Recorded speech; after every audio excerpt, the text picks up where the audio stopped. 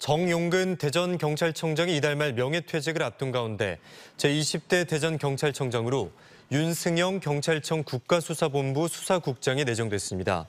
윤 수사국장은 1989년 경찰대를 졸업한 뒤 경찰청 교통기획과장, 서울경찰청 성동경찰서장, 충남경찰청 자치경찰부장 등을 지냈습니다.